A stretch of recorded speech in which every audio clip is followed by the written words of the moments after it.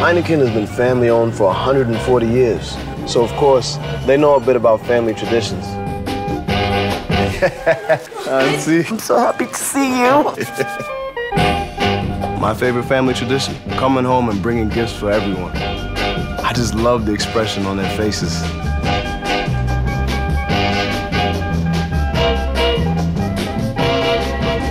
This is good and I appreciate it, but I rather have what the stomach wants.